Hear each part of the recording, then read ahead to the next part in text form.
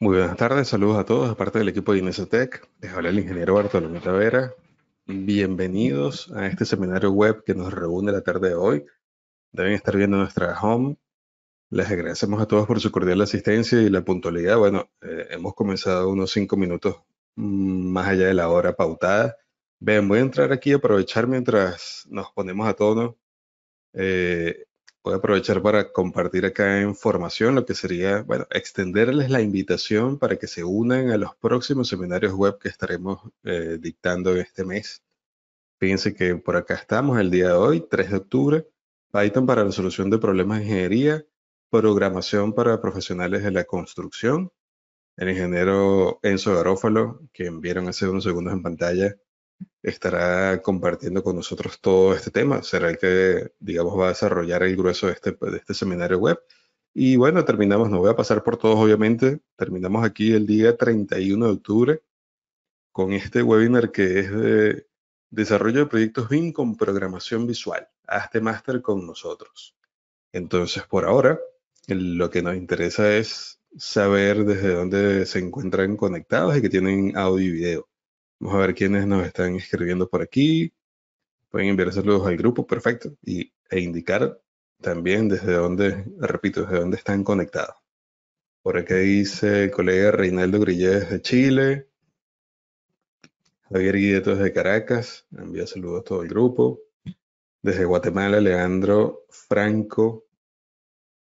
Para, a ver, a ver, su apellido completo, Barahona. No me parecía. Llegan saludos a Andrea Caballín desde Barcelona, acá mismo, imagino que acá en España. En Venezuela también tenemos una Barcelona, pero bueno, todavía estamos como a no sé cuántos años luz de, la Barcelona de aquí. Nosotros estamos ubicados en la Barceloneta, frente en el edificio Ocean, frente al, al Hotel Vela, al Hotel W. Entonces, bueno, excelente. A ver, tengo por aquí una, una, a ver, bueno, más comentarios de Panamá, Joaquín Fábrega, Jorge Luis Ramos Soto desde Honduras, Jen Cervantes desde Santa Marta, Colombia, Moisés Domínguez desde México, aquí está Jenny Novoa desde, desde Bogotá, Andrea Villa desde Medellín, Luis Garzón desde Panamá. Bueno, está muy bien, muy bien representado todo el continente americano y también tenemos otras personas por aquí del continente europeo. Bueno, pues bien, creo que todos estamos aquí. Solo una muy, muy pequeña introducción. Todos estamos aquí porque ya estamos conscientes de que este tema de Python y de todo lo que tiene que ver con la programación nos alcanzó.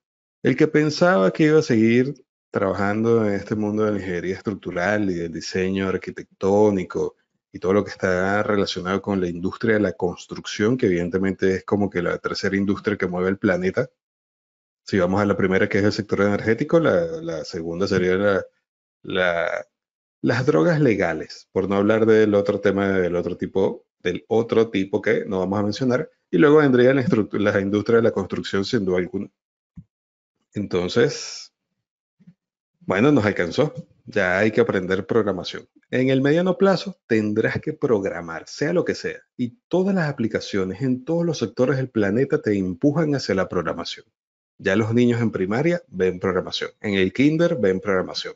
En primer grado, se lo juro por Dios, o sea, se lo juro, se lo juro por mis dos pulgares, conozco niñitos de tres años y de cuatro años que están en la guardería prácticamente y que ya han hecho impresiones en, valga la redundancia, impresoras 3D. Han hecho diseños en impresoras 3D. O sea, los he visto aquí en Barcelona con mis propias manos, lo que han diseñado los niñitos. Evidentemente, Evidentemente son figuras geométricas sencillas y algo hecho por ellos eh, muy, muy tiernamente, pero lo imprimieron en menos de cuatro, o sea, con menos de cuatro años de edad, por Dios. Menos de 60 meses de edad y ya han hecho sus primeras impresiones en ese tipo de máquinas. Así que todos esos niños en China, Japón, en Seúl, en Tokio, en, en Corea del Norte, ya ven programación. Desde, desde la escuela ya están programando. Así que esto nos alcanzó. ¿Y qué nos permite este tipo de, ya de, digamos, el conocimiento de la programación? Que podamos sacarle el máximo provecho actualmente a los programas que estamos utilizando, ya sean Bueno, cualquiera de ellos. Son ya muy pocos y evidentemente, por ejemplo, una breve comparación antes de darle el pase a Enzo. Programas como SAP 2000, ETAPS, Robot, tienen sus API, tienen, permiten que tú ah, con programando de manera sencilla puedas maximizar las capacidades del programa, puedes hacer cosas más allá de lo que hace el programa, te lo permite. Un programa como CIPE, de CIPE Ingenieros, todavía no es tan flexible y otros que conocemos que todavía no son tan flexibles y no te van a permitir programar algo en particular para que puedas sacarle un poquito más de provecho al programa. Pero, pero, evidentemente, la gente de CIPE tendrá que ir hacia allá. Si no lo hace, se enfrentará contra problemas, se enfrentará simplemente con una caída, una reducción de su mercado, porque ya todos vamos a tratar de comprar programas que permiten que nosotros le saquemos mayor provecho programando nosotros nuestros mismos script, nuestros mismos botones, botones particulares personalizados por nosotros. Así de sencillo. Y que hagan lo que nosotros queremos a niveles que nada más usemos el motor de cálculo del programa para hacer ciertas operaciones y ya. Pero que evidentemente son miles de líneas y miles y miles de líneas de programación que no va a ser una sola persona. Pero bueno, las podemos aprovechar. Dicho esto, solo les menciono que yendo aquí a formación de nuevo, encontraríamos esta especialización. Ven, voy a entrar por acá en lo que tienen que ver con, por aquí está esta de BIM en diseño computacional y generativo, y también la simulación y análisis estructural por el método de elementos finitos. Todo lo que vamos a ver en la tarde de hoy, todo, absolutamente todo ese contenido está ampliamente desarrollado en varias de estas especializaciones y por acá en la de programación visual. ¿Ok? Entonces, Enzo te convierte en presentador para que tomes el control y expongas todo lo que nos iba a mostrar en la tarde de hoy. Ya estamos esperando tu pantalla. Muchas gracias, Bartolomé, y por esa excelente introducción. Vale, vamos a empezar a compartir la presentación que teníamos preparada para esta sesión. Es una presentación y luego vamos a pasar a código real mostrándole ejemplos desde lo más simple hacia lo más complejo. Pero bueno, primero una pequeña introducción. Eh, vamos a compartir entonces. Eh, vale. No, no, sé si se está viendo adecuadamente la pantalla. Ahí me podrían verificar. No, pero no, estamos viendo la otra. Tienes que hacer el cambio arriba de la configuración de la... Ajá, vale, exactamente. Oye, gracias, Bartolomé. Sí, sí, vale. Perfecto, vamos a cambiarlo.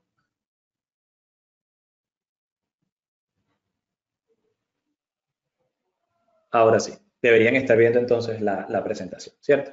Sí, ahora sí. Ok, vamos a comenzar. Ya se hicieron las, las muchas gracias, se hicieron las presentaciones. Eh, claro, aquí estamos trabajando con un equipo completo dentro de INESA. La pregunta que queremos contestar hoy, quizás muchos de ustedes eh, están interesados en esto del tema del Python, está llamando mucho la atención. Eh, porque tiene mucha aplicabilidad para los ingenieros civiles realmente, ingenieros estructuristas en específico, que tratamos con eh, temas de, que son repetitivos, que son algorítmicos. Entonces, dominar ciertos lenguajes de programación, en especial Python, que tiene ventajas para ciencias, miren, es una herramienta poderosísima. Y queremos invitarles a todos los que están acá a que puedan empezar a hacer sus comentarios, si es que ya han tenido eh, trato con esto. Si, la pregunta, ¿no? ¿Por qué les interesa esto de la programación? ¿Por qué están aquí en este seminario web con nosotros? Eh, ¿Han tenido alguna experiencia conectándose con SAP a través de, de su API de Python, con RFane? Sí, son cosas que queremos que ustedes puedan ir compartiendo, ¿no? Pero hay que empezar contestando esta pregunta. ¿Por qué hay que aprender a programar? Para un ingeniero, ¿sí? No para un ingeniero en sistemas, para un ingeniero estructurista, un ingeniero civil, ¿ok? Es interesante saber programar. En específico, ¿por qué? Cinco razones, pero pueden haber muchas más. Primero, nos ayuda a pensar de forma sistemática. Estamos acostumbrados a pensar de forma sistemática. Entonces, cuando usted eh, es capaz de establecer un algoritmo de lo que quiere hacer, puede programarlo. No hay duda de ello, puede programarlo. Y más con lenguajes como Python. Segundo, fortalece nuestras habilidades para resolver problemas, porque estamos acostumbrados, nos va a acostumbrar a, desgranar nuestros problemas en partes más pequeñas, en funciones, en pasos de cálculo. ¿Ok? Nos ayuda a entender mucho mejor el proceso, sin duda alguna. Por ejemplo, podemos utilizar esquemas de programación para validar lo que ocurre a puertas cerradas dentro de nuestro software, como SAP, como ETAPS, como SAFE, ¿sí? Y entonces uno entiende mejor, se apodera del conocimiento, no deja que el software sea una caja negra para nosotros, ¿sí? Sino que tenemos tácticas, metodología de implementación. Además de forma gratuita. No es que usted tiene que comprar MATCAT o MATLAB o nada de eso. Eso es gratuito porque estamos hablando de Python, ¿vale?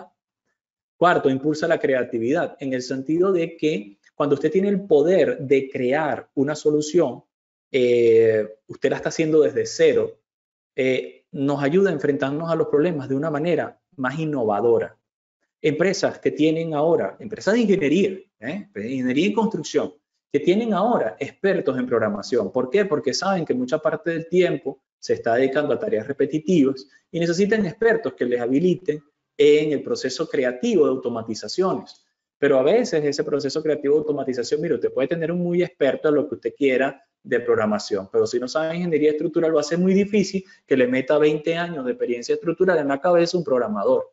¿sí? El programador sabe su rama, pero el ingeniero estructural es el que sabe la suya y a veces es difícil transmitírselo a un tercero. Entonces, cuando uno como ingeniero estructurista, ingeniero civil, es capaz de ese know-how transmitirlo porque ahora aprende a programar, quizás no va a ser un experto programando, pero lo suficiente como para automatizar las tareas, eso sin duda alguna aumenta, eh, digamos, el rendimiento de la organización.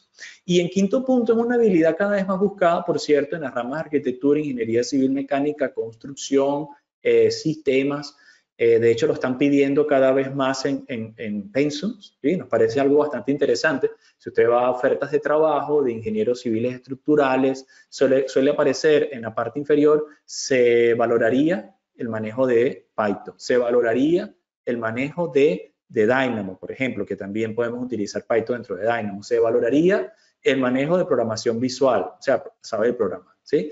Entonces, esto sin duda eh, es algo que cada vez se está tomando más en cuenta. Y en algunos casos dice obligatorio que se tome. ¿Bien? Ahora, ya que entendemos que sí que es interesante, nosotros como ingenieros civiles saber programar, la pregunta que tenemos que empezar por lo básico, ¿qué entendemos por un lenguaje de programación? Básicamente, eh, un lenguaje de programación es la manera en que nos comunicamos con el computador, con la tablet, con el celular y le indicamos qué es lo que queremos que haga. ¿sí? El computador trabaja a través de instrucciones. Entonces, un lenguaje de programación lo que nos va a permitir es a nosotros como personas, seres humanos, escribir una serie de instrucciones que la máquina pueda procesar. El lenguaje eh, por, lo, general viene acompañado de un compilador que convierte una serie de palabras claves en lenguaje de máquina ceros y unos, ¿vale? De tal manera que el computador ejecute lo que nosotros le mandamos. Eh, desde el punto de vista de un ingeniero, eso es una maravilla porque yo no, no tengo que hacer clic en todas partes, sino que yo simplemente programo lo que quiero que haga y el computador lo ejecuta por mí, ¿vale? Por cierto, en este punto ya podemos ver algunos de sus comentarios, ¿sí? Y por acá nos están diciendo eh, que, por acá sí que se han programado algunas cosas con Python, nos dicen algunos de ustedes, con Dynamo, mejor dicho, nos dicen algunas cosas de ustedes. Por ahí también eh, en el caso de Revit, ¿no? Así que sin duda alguna, Dynamo también es un lenguaje de programación. Solamente que el lenguaje de programación de Dynamo es un lenguaje de programación visual. Está basado en una serie de nodos visuales con representación tipo funciones que tienen cables que entran en una función y cables que salen, así que es muy visual. En este caso nosotros vamos a hablar de otro tipo de lenguaje de programación que es Python, ¿sí? Pero al final de cuentas es un lenguaje de programación, ¿ok? Ahora, específicamente, ¿por qué Python? ¿Por qué Python? Preguntarán ustedes si hay tanto lenguaje de programación. A ver, seguramente en la época de la academia, muchos de los que estamos acá tuvimos alguna experiencia de programación. ¿Por qué? Porque nos los pedían en, grado, en pregrado y en posgrado. Bueno, ya en posgrado ni siquiera nos los pedían, es que nos decían, mire, prográmese ahí una cosa de elementos finitos y uno tenía que resolver y ver cómo aprendía a programar porque no le daban ni siquiera un curso de iniciación. ¿Sí? Entonces, bueno, eh, sí. ¿Por qué Python? Bueno, eh, la cuestión es que Python, y tiene que ver con una de las preguntas que hace por acá eh, el ingeniero San Martín, es porque Python tiene una curva de aprendizaje muy suave.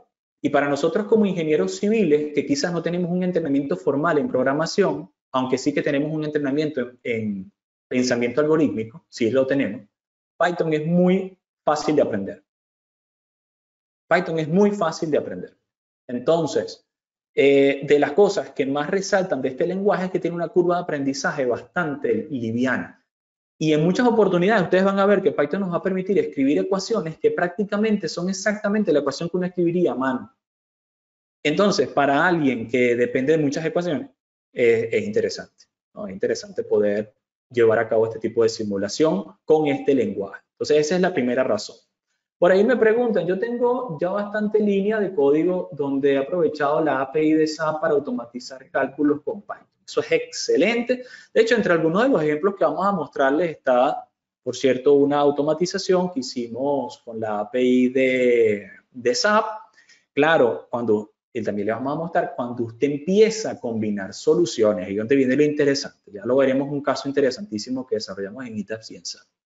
Otras razones para utilizar Python, y se lo recomendamos como lenguaje de programación. Bueno, porque tiene una gran cantidad de bibliotecas gratuitas.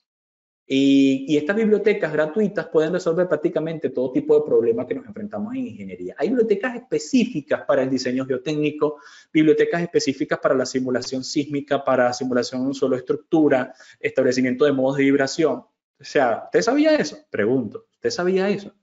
¿Sabía que, por ejemplo, usted puede tener acceso a la biblioteca de OpenSys, que es uno de los, de los motores de cálculo por elementos finitos más poderosos que existen? auspiciado por la Universidad de Bentley y utilizado por empresas tan grandes como CIPE Ingenieros.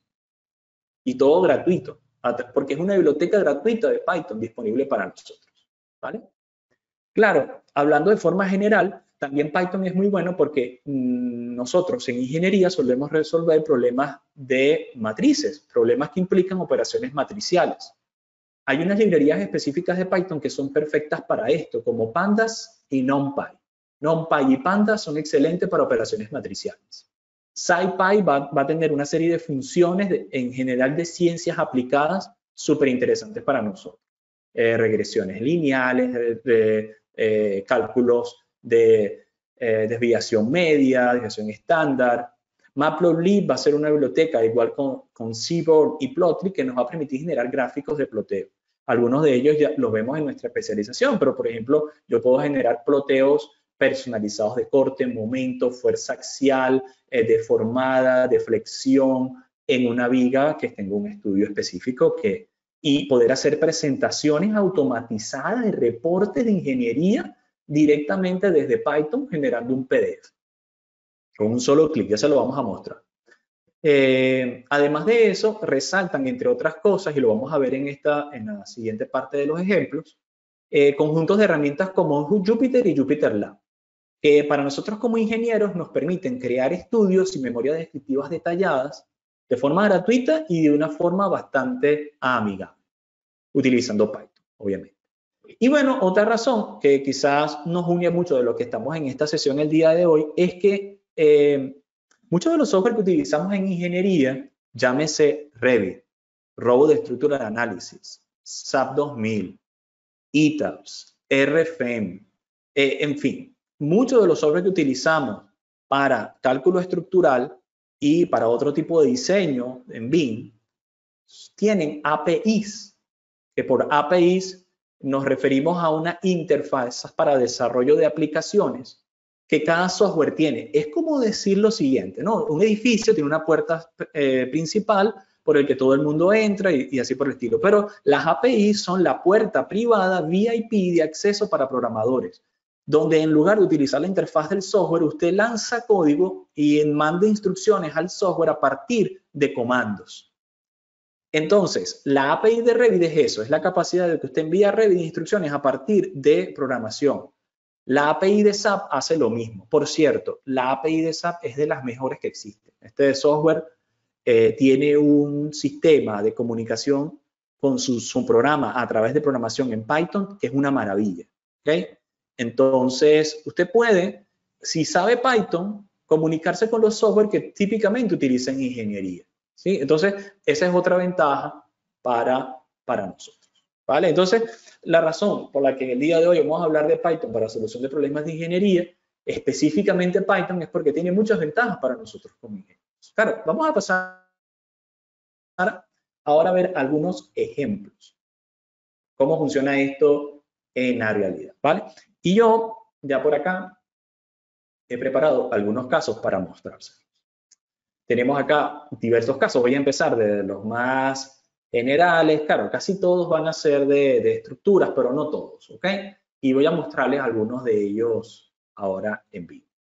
Eh, algunos de estos son tratados en nuestra especialización de diseño computacional y generativo, donde les enseñamos a programar de forma visual, pero también a programar con Python para resolver problemas de ingeniería.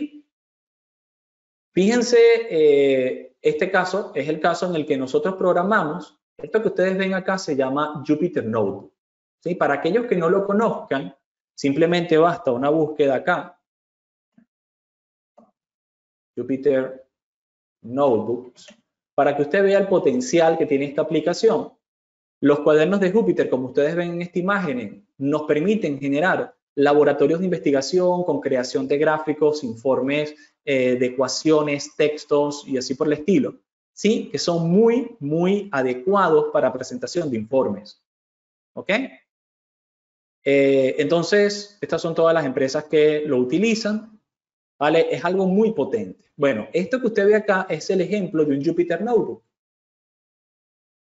Y acá lo que estamos utilizando es, noten, yo genero una presentación con unos títulos, subtemas, eh, voy dejando, esto, esto es simplemente para yo después lo lanzo y lo imprimo, ¿ok? En este caso estamos haciendo, vamos a empezar por acá, el, muro, un diseño de un muro en cantilever. En este diseño de un muro en cantilever yo hago la definición geométrica y utilizo Python para generar el ploteo preview del muro. ¿Sí lo están viendo, no? A continuación, entonces, utilizo la definición de los parámetros mecánicos y geotécnicos del mismo muro y empiezo a hacer mi estudio. O sea, noten, esa es la gran ventaja de los cuadernos de Júpiter, ¿no? Yo aquí estoy empezando a hacer el estudio del muro y muchas veces usted no se va a encontrar con que esto lo hace un software. Usted puede tomar quizás las reacciones si el muro es un muro de fundación de sótano a partir de la superestructura y quizás pueda apoyarse en software como Robot o, u otro tipo de software especializado en geotecnia como Plaxis para hacer el diseño del muro en cantilever. Pero no viene por defecto en los programas más utilizados. Entonces, ¿cuál es la ventaja que nos ofrece Python? Yo programo mis verificaciones personalizadas mientras que tomo la información de los software como SAP ATAPS que pueden devolverme en forma de tabulación, o sea, en forma de tablas. Yo, cargo las tablas y continúo con mi análisis y aquí agrego los parámetros que no me da el software. Por ejemplo, quizás, obviamente, SAP no me va a calcular el coeficiente de empuje activo a través de Coulomb de una cuña de falla en un suelo. No me lo va a calcular. Entonces, ¿qué hago yo? Me vengo para acá, para Júpiter, y yo programo que voy a estudiar el estudio de estabilidad por volteo, hago la definición de que la fuerza de empuje horizontal por tierra retenida será tomada a través de la llamada presión activa, calculo la presión activa como, esto por ejemplo está tomado directamente del libro de Brajadas, ¿verdad? Eh, a través de la teoría de presión activa de Coulomb, igual la presión pasiva. Tomo esos valores y los programo con Python. Y entonces acá me, me da el resumen, ¿no? Y me dice por acá, Mira, la presión activa de tierra es 485 kilogramos fuerza por metro. Eh, la presión activa de la carga, sobrecarga en, en, el terreno es de tanto, la base del prisma de presión es tanto. Luego calculo los momentos resistentes, noten que aquí están todas las ecuaciones y fácil de entender, ¿no? O sea, el primer momento, eh, la fuerza de momento va a ser la altura total por el espesor del muro multiplicado por el peso propio del muro, el peso específico del concreto y así por el estilo, ¿vale? Momentos, calculo los momentos de volteo y procedo a calcular el factor de seguridad. Entonces, luego hago estudios de estabilidad por, deslizamientos con todas las ecuaciones necesarias, fuerzas horizontales resistentes, fuerzas de empuje, revisión por capacidad, todo lo que yo quiero. ¿ok? O sea, yo tengo aquí totalmente programada la definición de mi muro. Inclusive en la revisión por capacidad estoy haciendo uso de la capacidad portante del suelo, donde aquí me está diciendo, noten el resultado que me imprime en pantalla, mira, la presión máxima es de 0,64 kilogramos fuerza centímetro cuadrado, pero la capacidad última de tu suelo es 1.42, por lo tanto cumple, ¿sí? O sea, él se encarga de hacer la verificación por mí. Veamos otro caso. Este es un caso ya ah, avanzado, que es una de esas ventajas cuando uno, o sea, ya como base ya sabes programar en Python, ¿verdad? Pero ahora vamos a empezar a utilizar esas bibliotecas de Python que mencionaba. Entre algunas de esas bibliotecas está la capacidad de usted hacer diseños optimizados a través de optimización genética. ¿Qué es la optimización genética? Es la capacidad de que yo, en lugar de hacer un solo diseño y verificar la capacidad de ese diseño, no, yo programo las reglas del diseño y permito que un algoritmo itere sobre miles, a veces hasta millones de posibles soluciones y se consiga la solución optimizada. Y ustedes dirán, ¿y eso tiene aplicabilidad para la rama civil? ¿Tiene aplicabilidad para la rama de construcción, para la rama de, estructura. Bueno, fíjense, aquí tenemos el diseño de una planta desde el punto de vista civil, pero también electromecánico. En este caso, la planta está definida de la siguiente manera. Yo tengo un río, tengo que generar una obra de recolección de agua en este río, en, esta, en este cauce natural. Por cierto, hay que saber escoger dónde voy a colocar este punto de extracción. Y tengo acá abajo una serie de turbinas que van a utilizar la energía potencial convertida en energía cinemática del agua capturada en la hora de captura para poder convertirla a su vez esa energía cinemática en movimiento de las turbinas para alimentar eléctricamente una población. Desde el punto de vista de ingeniería civil nos conviene saber dónde debería colocar el punto de extracción de agua, dónde debería colocar la casa de máquinas, en qué punto debería colocar los soportes de las tuberías, cuántos codos debería generar en el soporte de la tubería, ¿Qué tanto me debería ajustar a la topografía del terreno? ¿Cómo afecta el que me ajuste o no la topografía del terreno el costo final de la planta? ¿Sí? Ah, bueno, entonces toda esta serie de preguntas son preguntas complejas. Si usted trata de abordar ese sistema, simplemente se va a Civil 3D, ¿verdad? Y hace un ploteo ahí de, de una superficie y empieza a probar, nunca va a llegar a la solución. Entonces son demasiadas variables. Ahora, vamos, puede llegar a la solución, pero que le va a tomar muchísimo tiempo.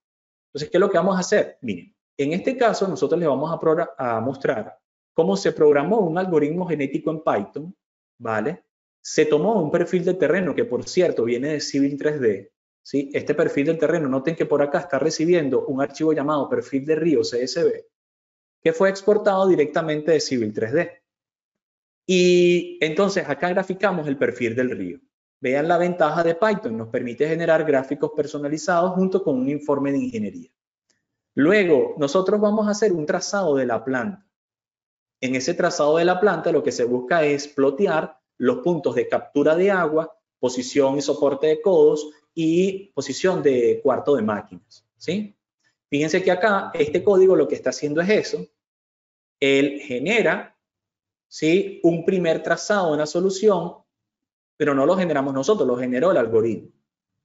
Ahora, también hay que modelar ciertas partes para poder establecer una solución óptica, ah, óptima. Hay que tomar en cuenta que la energía cinemática producida por la captura del agua, que convierte su energía potencial en energía cinética, la hace rodar unas ciertas turbinas por lo tanto, nosotros lo que vamos a hacer es establecer, y esto no son ninguna ecuaciones muy profundas para un ingeniero civil, cuál es la potencia de la turbina. Nosotros, nosotros sabemos calcular desde el punto de vista hidráulico la potencia y la efectividad de una bomba. ¿sí? Entonces, lo que estamos haciendo es calcular el H eh, de gravedad, la pérdida por fricción y programamos eso dentro de la potencia generada por la planta, que es esta ecuación que está acá. Todas estas ecuaciones vienen resumidas en este código que está acá en la parte inferior y nos dejamos programado, ¿vale? O sea, la cuestión es, usted va a encontrar en Civil 3D herramientas que le van a permitir hacer optimización de captura de cuencas, por ejemplo, para un ingeniero civil.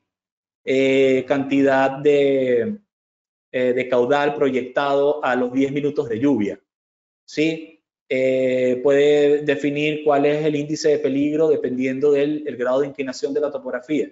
Pero lo que no va a encontrar es cómo calcular la energía eh, potencial menos la energía por fricción en una función. O sea, eso no lo va a encontrar. Lo que queremos decir es, estamos utilizando Python para complementar la capacidad de nuestros análisis en el software. No es que usted va con Python sustituir el software, no, imposible, ¿no? Obviamente dependemos de los software y en este caso el Civil 3D. En otros casos podría ser SAP o ITEMS.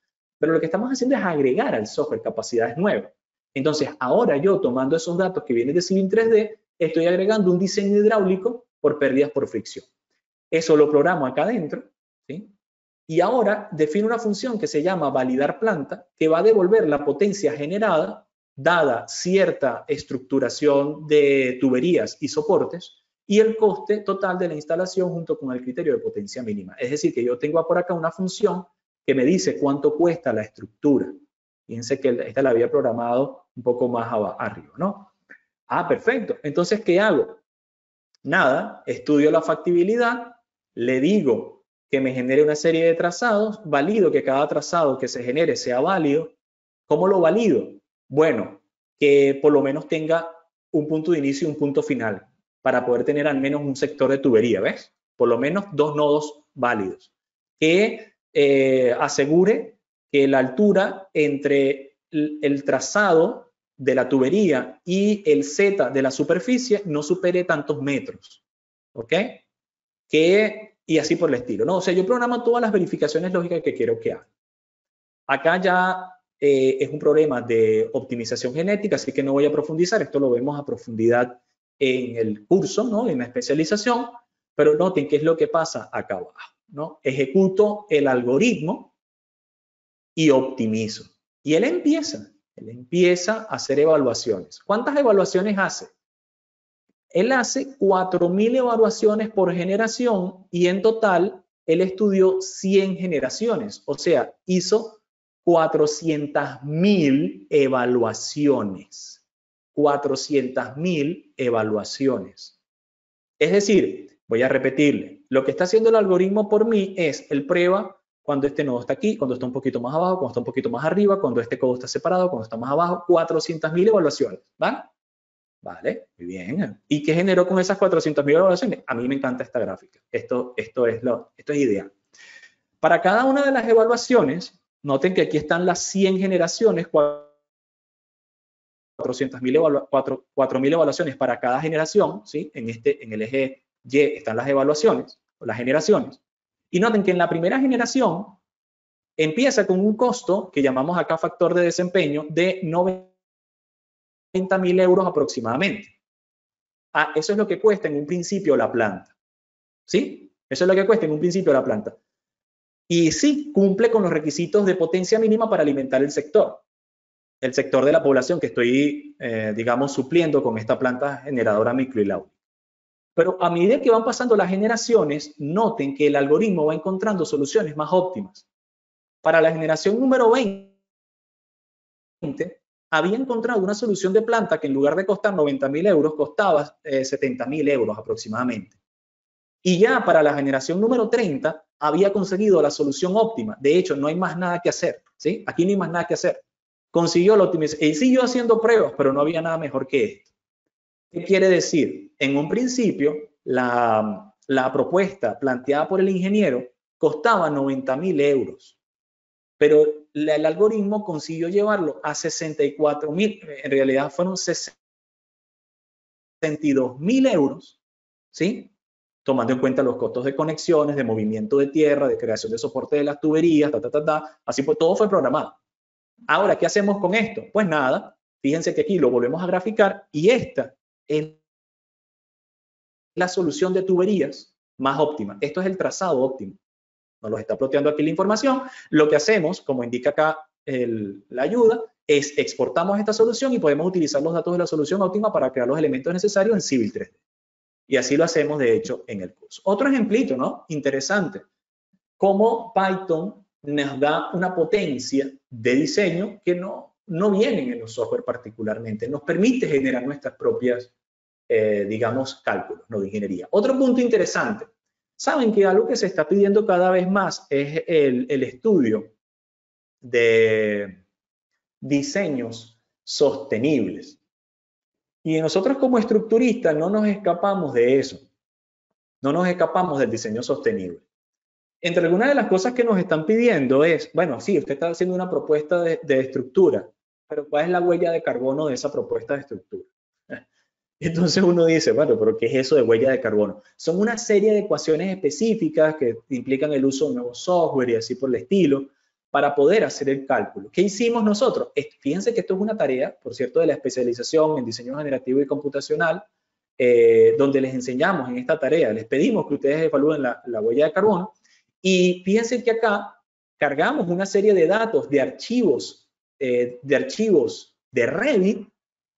En total, se hizo un estudio para 6.471 archivos de Revit y 4.596 archivos IFC y se calculó simultáneamente para toda esta cantidad de archivos eh, la huella de carbono de cada edificio.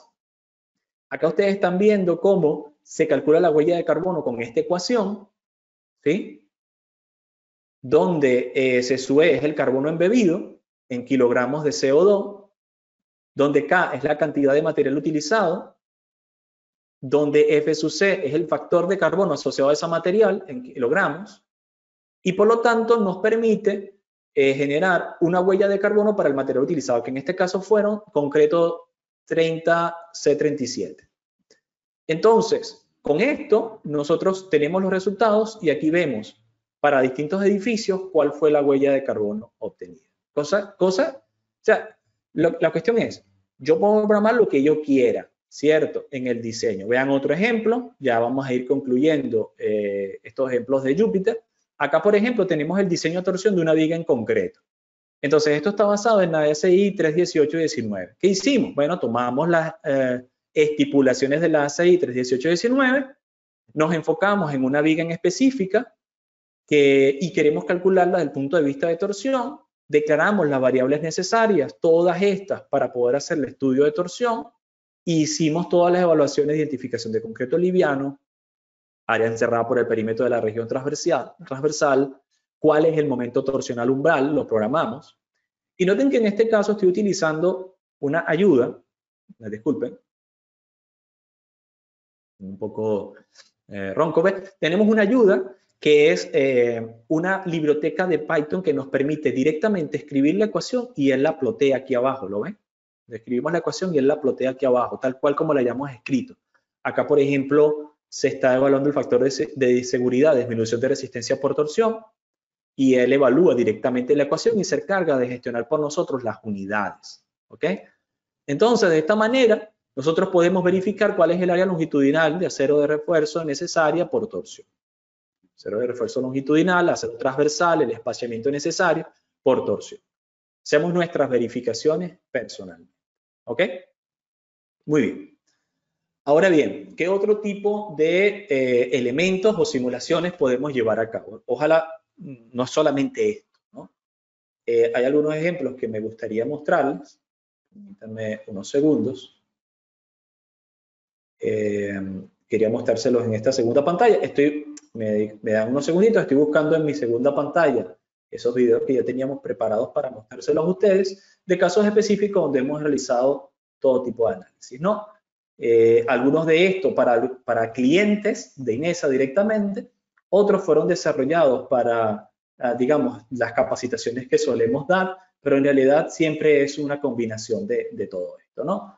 Fíjense que, eh, bueno, en este caso ya lo vimos, la planta de carbono, lo que quería era mostrarles, eh, por ejemplo, este que está acá, ¿sí? Esta, por ejemplo, es una manera en la que nosotros programamos elementos finitos eh, vamos a ver si abre el, documento. Está abriendo. unos segundos. a esperar a que abra. Ya le di clic, pero está abriendo, ¿no? Bueno, si no, voy a hacer uso no de lo que está en la nube, sino de esto que tengo por acá. ¿Vale? Em, bien.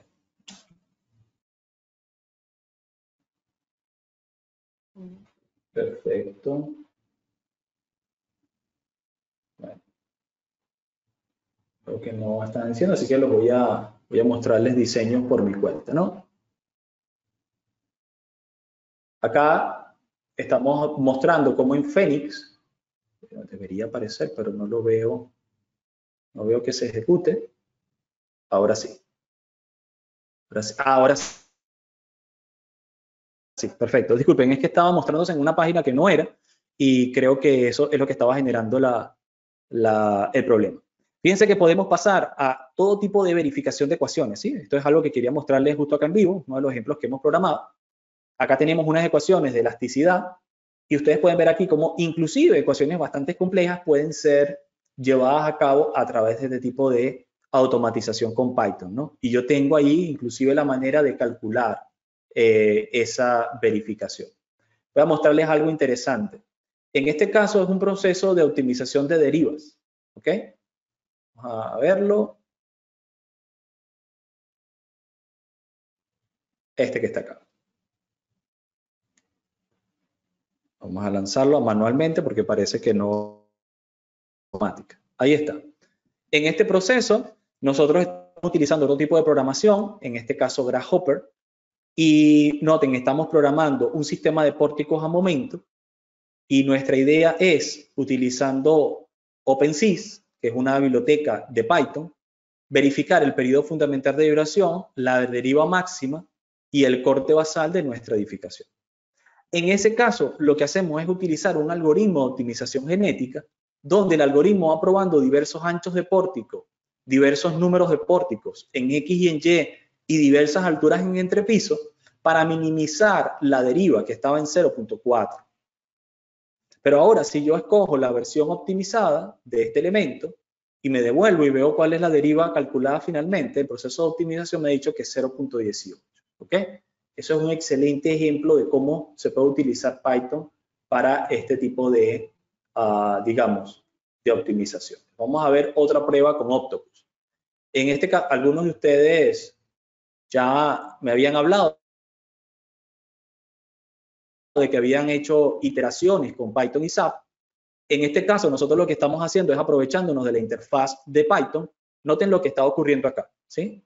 Yo estoy enviando diversas soluciones a SAP 2000. ¿Ven, ¿Ven lo rápido que lo envía? Yo estoy enviando diversas soluciones a SAP 2000 desde un programa de programación visual que a su vez está utilizando partes de códigos en Python para comunicarse con la interfaz de SAP 2000. Y luego voy a generar una serie de soluciones, en estos casos, que me van a permitir conseguir una superficie optimizada de solución. A medida que yo voy enviando todos estos valores, Noten que yo genero múltiples soluciones. En este caso, cada solución en el eje de Z, ¿sí? Eh, perpendicular al plano horizontal, vamos a observar la cantidad de kilogramos de acero de la, de la estructura, mientras que en los ejes eh, de horizontales tenemos el promedio de capacidad demanda, de demanda uh, capacidad, ¿vale? Que está máximo en 0.72 y este es los grados de mayoración. Entonces yo lo que busco es minimizar eh, la cantidad de demanda capacidad, mientras que también minimizo la cantidad de aceros utilizados. Y fíjense que esto me genera una superficie programada, porque, repito, entre varios algoritmos de corrida dentro de Python, que me van a permitir identificar cuáles son las soluciones optimizadas que minimizan la cantidad de acero en la estructura. ¿Vale? Ahí tenemos otro ejemplo bastante interesante. ¿Ok? Ahora, otro ejemplo más. Uno, de los ejemplos bastante interesantes que resolvimos hace eh, ya unos meses fue el de la programación automática. En este caso hay una combinación de diseño eh, o programación visual junto con programación en Python. Véanlo ahí, voy a, darle pausa. ¿sí? Fíjense qué es lo que está pasando. Este ambiente que ustedes ven en pantalla, ¿sí? todo este ambiente que ustedes ven aquí en pantalla, es el ambiente de Grasshopper. Grasshopper es un ambiente de programación visual, pero ustedes pueden observar que acá hay un ambiente también de que yo puedo generar nodos y crear código de Python acá adentro. Entonces, a través de este tipo de simulaciones, yo programo en Python, pero también tengo una interfaz gráfica para poder definir la forma de mi estructura. Y noten que al, al, al yo generar la forma de la estructura, me vengo más adelante y esta geometría, entonces activo y genera toda la geometría de la nave industrial. ¿Okay? Genera toda la geometría de la nave industrial. ¿Ok? Vale. Y bueno, me gustaría también concluir, pero ya creo que son suficientes ejemplos a este respecto, con algo más que tengo por acá, que es, eh, espero no haberlo cerrado, esto que está acá, Víctor. Esto, realmente hay muchas otras aplicaciones que ustedes pueden utilizar, pero ya esto es lo que últimamente hemos estado utilizando para hacer desarrollos de, estructuras. ¿Qué es Victor? Victor es una aplicación web que les va a permitir a ustedes como programadores de Python e ingenieros generar aplicaciones web para sus problemas de ingeniería, como por ejemplo estructurar un edificio, enviar información a SAP 2000, recibir información de SAP 2000, hacer presentaciones a través de reportes y así por el estilo. Y con una interfaz gráfica muy potente. Y todo esto gracias a Python, ¿vale? Por ejemplo, acá tenemos unas galerías de diseño civil donde acá ustedes pueden ver cómo se hace la configuración de una estructura tipo warehouse. Si ustedes han así, para, para que no piensen que estamos engañando, y bueno, esto no tiene nada que ver con Python, no, esto es Python. Fíjense que yo voy a la página web original y si yo veo acá, todos estos son archivos de Python y esto es código Python. Lo que se está utilizando acá son códigos Python para generar el modelo. ¿sí? Esto es código Python. Claro, lo que pasa es que ahora, además de generar el código Python, fíjense, cuando yo ejecuto ese código de Python, me lleva a una página web.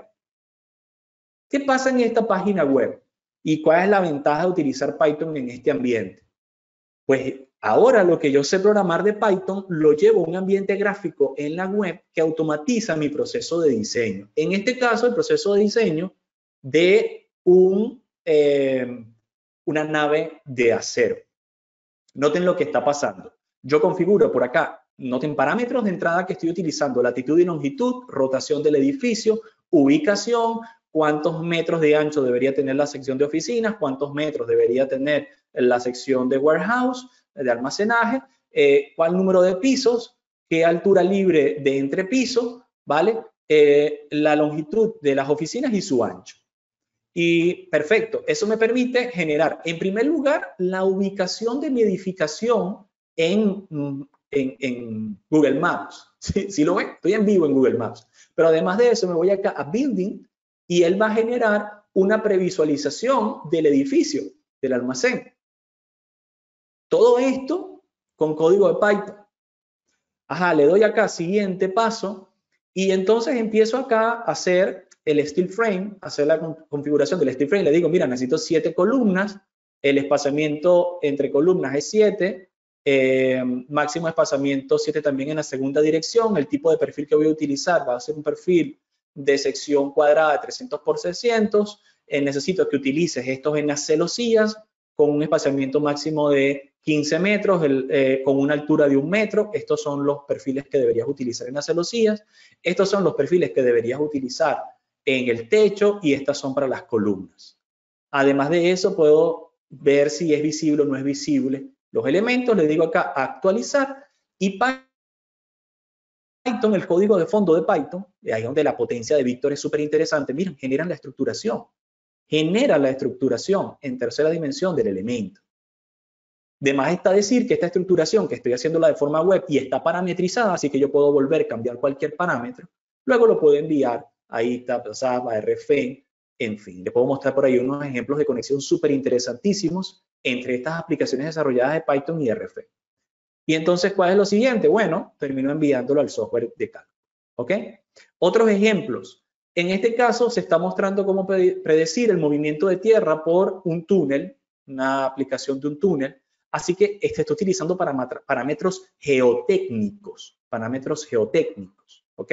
Entonces yo le doy dónde está la altura de la tabla de agua, si a nivel freático, cuáles fueron el STP eh, movilizado y, y así por el estilo, ¿vale? Y él calcula el túnel y además noten que acá en vivo me está diciendo con esta línea segmentada cuál es el asentamiento debido a la excavación de este túnel por liberación de confinamiento en el medio poroso.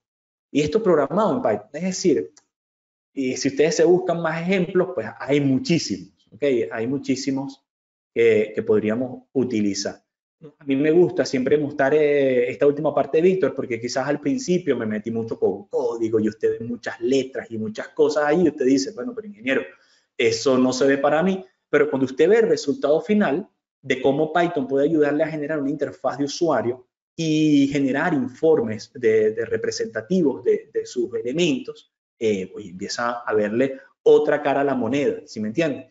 Entonces ya usted empieza a hacerse la idea de que esto es simplemente mandar, imprimirlo, generar el documento en PDF y ya yo tengo, ¿vale? Todo eh, lo necesario para generar un informe de ingeniería, ¿ok? Y, de una interfaz gráfica muy amigable ya después que lo programo. De tal manera que me permite potenciar los software que yo utilizo por defecto, ¿ok? Bueno, Eh, eso es básicamente lo que queríamos mostrarles. Hay mucho más que decir, pero no hay tiempo para mostrarlo, la verdad. Pero vamos a ver si podemos atender algunas, consultas, ¿vale? Ah, vamos a, permítanme por acá, eh, eh, volver acá a la presentación. ¿Ok? Y vamos a ver si podemos contestar algunas consultas, ¿vale? En primer lugar, ¿En construcción se puede utilizar Python? Bueno, creo que ya quedó demostrado, ¿no? Con varios de los ejemplos, que sí, puedes utilizarlo para construcción. ¿Sabes una aplicación súper interesante que se le está dando en construcción específicamente? Optimización de, diagramas Gantt, de programación. A Sandra, que, preguntabas eso, ¿sabes? Eh, de hecho, estoy a punto de hacer un ejemplo de este tipo de programación porque estamos a punto de ampliar las capacidades de los módulos y una aplicación que hemos visto bastante útil es que nos pasan un programa de ejecución de obra, puede ser en Excel, en, Microsoft Project, donde sea, y utilizamos una serie de metodologías de tomas de decisiones por Markov, cadena de Markov, que se puede programar eh, muy bien en Python. Y él, automáticamente, el algoritmo de diseño generativo prueba diversas combinaciones de las partidas entre sí y nos dice, esta es la mejor manera en que tú puedes ejecutar esta obra. En algunas oportunidades, esos análisis eh, terminan quitándote de encima hasta un mes o dos de una obra que dura dos años, lo que es un ahorro significativo en tiempo y por lo tanto en costo. ¿Sí? Entonces sí, ¿no? Otra manera en que lo están utilizando en construcción, bueno, Python tiene excelentes bibliotecas de inteligencia artificial con Machine Learning. Y con Machine Learning tú puedes utilizar algoritmos de predicción, que son algunos ejemplos que también vemos en, en nuestra especialización, puedes utilizar algoritmos de predicción para decirte, mira, te estás retrasando, te estás adelantando, eh, tienes tantos días de atraso y el, y algoritmo te predice, ¿sabes qué? Si no haces nada, en dos semanas no terminas a tiempo. Vas a tener un retraso de tanto y vas a tener una deuda de tanto con respecto a la curva de inversión. Así que son aplicaciones bastante interesantes, ¿vale? Eh, eh, ese Math Solver equivalente a MathCAD pero gratis. ¿Es compatible con Python? Bueno, sí, SMAT es precisamente la versión libre. Eh, no es que Python sea compatible, sino que más bien en lugar de utilizar SMAT, utilizarías Python a través de Jupyter típicamente. ¿Sí? Eh, hay algunas bibliotecas específicas de cálculo simbólico de Python que son súper interesantes, como SymPy. Déjame, eso también lo vemos en el curso, pero déjame mostrárselos acá en pantalla, que no le envidian nada a MATCAD ni a SMAT, ¿ok? Fíjense, es esto que está acá, SymPy. SymPy me va a permitir generar informes de, todo tipo de elementos. Vamos a ver estas imágenes para que ustedes tengan en cuenta lo que puedes hacer. De inclusive de matemática simbólica y evaluación de ecuaciones, de forma súper ordenadísima en un cuaderno de Júpiter. Así que, pues sí, eh, no tiene nada que envidiarle a otros. Igual puedes generar gráficos y todo por el estilo. O sea, la idea no sería que tú utilizaras SMAD en combinación con Python, sino que utilices Python a través de Jupyter, ¿vale? Eh, ¿Jupyter es como MATCAD o es muy diferente? Miren, MATCAD tiene la posibilidad, como es un software pago, de que ustedes hagan un esquemático de ecuaciones y así por el estilo. Jupyter es más general, suele utilizarse en general para cualquier ciencia eh, como las ciencias de ingeniería y es mucho más popular, podría decirse en, en, diversas ramas, ¿sí? Y mm, tiene a su vez la posibilidad de que tú puedas utilizar bibliotecas de cómputo que no van a estar disponibles en MATCAD, como por ejemplo bibliotecas de cómputo, como ya mencioné, de optimización genética, bibliotecas de cómputo para, con ecuaciones ya previamente eh, programadas. Entonces, en ese caso, eh, Jupyter no es MATCAD, pero sí que te va a permitir eh, generar informes súper interesantes a una forma muy parecida a MATCAD con una potencia superior de tal. ¿Vale? Eh, por acá, el ingeniero Eizaguirre nos pregunta, ¿en el curso se verá todo con respecto a NumPy y Pandas? Ah, sí, sí, totalmente. Permítame un segundito eh, ir a la página web de INESA, ¿ok? Y mostrarles un poco hasta qué punto eh, ustedes pueden llegar a la profundidad de conocimiento, ¿no? Si ustedes vienen acá a nuestras especializaciones, van a ver eh, en especializaciones nuestra especialización eh, en diseño computacional y generativo Y acá ustedes pueden ver que nosotros les vamos a dar primero programación visual con Dynamo para empezar con programación visual, que nos ayuda mucho a los ingenieros. Luego le vamos a dar una introducción completa a Python, como si usted no supiera nada de Python, así es. Y luego, cuando vamos al módulo 5, volvemos a Python para ingeniería, donde noten que en el tema 2 está precisamente el tratamiento de la biblioteca NumPy, SymPy, Pandas, Matplotlib e incluso otras más, como DIP para diseño colaborativo. ¿Ok? Otra pregunta que veo por ahí, Júpiter, ¿se puede utilizar, el ingeniero directo, eh, ¿se puede utilizar offline? Sí, sí se puede utilizar online. Justo ahora lo estoy utilizando offline. ¿sí? Eh, déjenme mostrárselo. Eh, a ver si ya la cerré. No, no debería haberla cerrado. Acá está. Esto está offline. Noten que yo lo estoy ejecutando en un local host. Así que esto está en mi propio computador. En cualquier caso, yo también lo puedo compartir web. ¿Sí? Yo lo puedo hacer web y colaborar con otros, pero esto está en mi propio computador. Fíjense, algo web interesante es Colab de Google, donde ustedes van a poder hacer algo parecido a, lo que estábamos haciendo offline, pero en la web, ¿ok? Eh, a ver,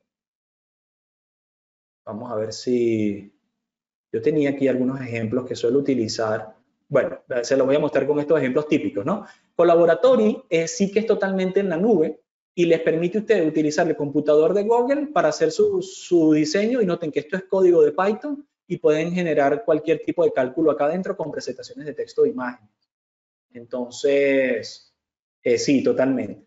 Otra pregunta que nos hace por acá el ingeniero Luis Garzón. Em, ¿La API de ETAP funciona similar a la API de SAP 2000 implementando Python. Sí, sí, totalmente. A ver, espero no haber cerrado la, página porque quería precisamente mostrárselo, ¿no? Eh, a ver, yo voy a mostrarles las API. Eh, ya, ya mostré un video donde enviamos información a través de esta API, pero no le mostré el código, ¿cierto? Entonces quiero mostrarles el código ahora. A ver, me voy a ir a la ayuda eh, de la program data, no, program files, un segundito. Ajá, computers, etabs, y voy a colocar OAPI, a ver si, si puedo abrirlo. A ver, ¿no? No me permite ejecutarlo. Ahí está, OAPI. Mm. Eh, no, vamos a buscar solamente API. Bueno, sí, no voy a mostrar. Ahí está. La API de, de ETAPS, cada vez que ustedes instalan ETAPS, ETAPS va a venir con una ayuda de la API. Si ustedes se van a ejemplos, ¿sí? van a tener la posibilidad de programar en ETAPS con diversos lenguajes de programación. Esta es la ayuda que viene por defecto en el instalador de, de ETAPS. ¿sí? O sea, si ustedes eh, instalan ETAPS, dentro de la carpeta de instalación va a estar esta ayuda que tiene algunos ejemplos. Entonces pueden programar con Visual Basic, con C++ o Visual C++, con MATLAB y con Python. Lo están viendo. Para Python hay tres posibilidades, el python.com, el python.net y el Iron Python, que es una implementación de, python.net eh, para, algunas versiones antiguas de Python. Y fíjense que aquí están todas los ejemplos. Usted simplemente copia y pega este ejemplo y si quiere más ayuda va a los conceptos claves, ¿no? Yo les recomiendo que utilicen el python.com, ¿no? En algunos casos, el Python.NET es más aplicativo para cierta conectividad con, otras aplicaciones de Windows. Eh, por ejemplo, la API de Revit está basada en .NET eh, con C Entonces, bueno, puede mejorar un poco la interoperabilidad en esos casos, pero si no es así, yo les recomiendo que trabajen con el .com. Pero fíjense que sí, ¿no? Respecto a la pregunta que hacía el ingeniero Garzón, eh, sí, funciona similar a la API completa de SAP. De hecho, si tú abres la API de SAP, tiene más o menos los mismos comandos. Seguramente, si tienes experiencia, te estás dando cuenta de que es exactamente lo mismo. Creas un, un objeto llamado objeto de SAP, en este caso es objeto de ITAPS. Eh, eh, creas un modelo, dentro de ese modelo lanzas una serie de comandos y vas caracterizando los materiales, los nodos, los elementos longitudinales, los patrones de carga, tal cual como lo harías en la API de SAP. Ese que sí, sí funciona muy parecido. Por acá, ¿Tiene algún ejemplo de Python con la API de robo de structural? Ok, sí tenemos uno. A ver si puedo mostrártelo. En este caso, en el caso de enviar a robot con ITAPS, Dynamo con ITAPS, ¿ok? Eh, ah, no, perdón, tú me estabas hablando de, de robot, déjame buscar robot. Lo tengo en este otro archivo. Para concluir, y, les muestro ese último ejemplo, ¿no? Porque, como les decía, son tantos que a veces uno no tiene tiempo de mostrarlos todos. Vamos a ir acá, por acá, videos cortos, videos cortos, para mostrarles un ejemplo que grabamos hace un tiempo, y mm, automatización con Dynamo, y aquí está, de una torre eléctrica. Sí. Em, a ver, ajá, aquí está, ¿vale? Claro, en este caso estoy utilizando Dynamo, pero recuerden que como se lo mostré en Grasshopper, acá dentro de Dynamo yo también puedo generar script de Python. Y en este caso, lo que estoy, vean que en el fondo se está utilizando robo de estructural análisis. ¿Y qué es lo que hace? Le doy play y genera la torre de telecomunicación, bueno, la torre de distribución eléctrica de alta tensión y luego la genera dentro de robot. Entonces, pues sí, eso lo vemos en la especialización, por cierto. Vemos cómo utilizar en combinación Dynamo, porque en el caso de que tú estés hablando de robo de estructura de análisis, quizás la ventaja primaria sería que dentro del propio robo de estructura de análisis tú puedes instalar Dynamo, que es un ambiente de programación visual, y ahí dentro de ese ambiente de programación visual, si te hiciera falta, utilizas Python para programar ciertas cosas. Pero sí, totalmente posible. Programarlo, noten que genera las combinaciones de carga desde el software y hasta me devuelve la deformada y otro tipo de momentos como están viendo en imagen en pantalla. ¿Vale? Bueno, eh, me parece que entonces se han contestado todas las preguntas. Por acá veo que hay algunas manos levantadas. A ver, creo que no. Ah, bueno, sí, el ingeniero Grichet tiene la mano levantada. No sé si quería hacerle un comentario, ingeniero. Eh, pues si lo desea puede activar su audio. dice por acá, que una subrutina dentro de ETAPS, la empresa se queda con la programación. Mm, bueno, depende de lo que tú hagas. Eh, si tú compartes el, el, código fuente, pues la empresa podría dominarlo. ¿Sabes? en mi experiencia personal, cuando ayudamos a ciertas empresas a que desarrollen esto, es que debido a que no es tan común que la gente domine este ambiente, eh, realmente tú puedes hacer lo que quieras que nadie se va a dar cuenta de lo que estás haciendo. A veces tú le dejas el código y la empresa no sabe utilizarlo. Nos ha pasado varias veces, desarrollamos los códigos, le decimos, mira, te voy a dar una explicación de cómo funciona inclusive para que tú puedas utilizarlo, pero la empresa no sabe utilizarlo. Entonces, al final de cuentas, eh, no nos preocupa tanto eso de, de, los derechos de autor. Pero igual, tú puedes generar tu código con ciertas restricciones. Al inicio de cada código, tú lo que harías es, te voy a mostrar un ejemplo. Fíjense, acá al inicio, tú lo que haces es, esto es un ambiente de programación de, uh, de Spider, donde estoy utilizando Python para hacer una programación por elementos finitos. En este caso estoy mandando una estructura SAP, por cierto. Pero eh, Noten que yo puedo incluir aquí en el principio cuál es la licencia de utilización del software. Entonces yo acá puedo escribir, eh, esto es propiedad de fulano de tal, ¿no? Aquí yo pongo mi nombre. Engineer, pues lo pongo en inglés, por eso LEGN, eh, y, yo puedo decir si esto es propiedad o no de la empresa. Yo puedo reclamar los derechos de autor, claro, a menos que tenga otro arreglo con mi organización.